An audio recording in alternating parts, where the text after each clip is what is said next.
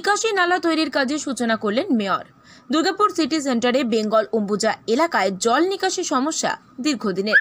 নোংরা জল রাস্তায় চলে আসায় দুর্ভোগের শিকার হচ্ছেন এলাকাবাসী, এমনটাই অভিযোগ। সমস্যা সমাধানের উদ্যোগ নেয় দুর্গাপুর পৌর নিগম। আটানব্বই লক্ষ টাকা ব্যয়ে নতুন করে নিকাশি নালা তৈরির সিদ্ধান্ত নেওয়া হয়। সোমবার নারকেল ফাটিয়ে নালা তৈরির কাজের সূচনা করেন দুর্গাপুরের মহানাগরিক অনিন্দিতা মুখোপাধ্যায়। এই কর্মসূচিতে মেয়র ছাড়াও উপস্থিত ছিলেন ডেপুটি মেয়র অমিতাভ বন্দ্যোপাধ্যায়, পুর নিগমের মেয়র পরিষদ প্রভাত চট্টোপাধ্যায় সহ অন্যান্য কাউন্সিলররা। নতুন এই নিকাশি নালা তৈরির ফলে নিকাশি সমস্যা থেকে অনেকটাই স্বস্তি পাবেন এলাকাবাসী। এমনটাই মনে করা হচ্ছে।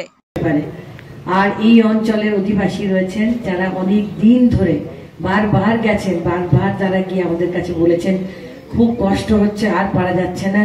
আমাদের সিভারেজে এমন অবস্থা, আমি বিশেষ করে এই অঞ্চলটা দেখেছি যে কীভাবে এখান দিয়ে নোংরা জল বয়ে যায়। এই রাস্তাটা করে দেওয়া সত্ত্বেও রাস্তাটা নষ্ট হয়ে গেছে। তো শুধু অম্বুজা নয় নন কোম্পানির কিছু অংশ আছে সেল কোঅপারেটিভেরও কিছু অংশ। তা পুরো আটানব্বই লক্ষ টাকা দিয়ে আপনারা সবটাই শুনেছেন ডিটেলসে আমাদের শ্রদ্ধেয় দাদা বলেছেন। তো সেটাকে পুরোটা যাতে পুরো সিটি সেন্টার এলাকা থেকে শুরু হবে, এরপর কিন্তু বিধাননগর এবং তারপরে আমাদের ভিড়িঙ্গি এবং গোপাল মাঠ, যে যে অঞ্চলে রামকৃষ্ণপল্লী প্রত্যেকটা অঞ্চলে কাজ হবে।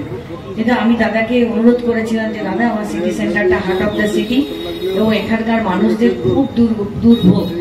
দয়া করে আপনি যখন নেবেন, উদ্যোগ নেবেন, এই জায়গাটা যেন প্রথম করা হয় রাস্তাটা এত দুর্ভোগ এখানকার মানুষের যে অম্বুজার মেন রাস্তাগুলো আমরা শুরু করে দেবো। আমাদের সাড়ে তিন কোটি না চার কোটি বোধহয় আমাদের এস্টিমেটও হয়ে গেছিল।